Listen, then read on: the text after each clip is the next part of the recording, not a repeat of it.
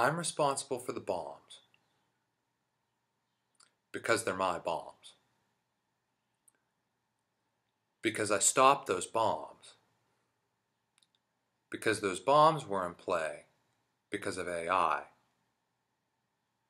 And I'm completely innocent of AI. I'm the one stopping AI. I'm the one stopping the bombs. I'm the one fixing the planet. What the fuck are you?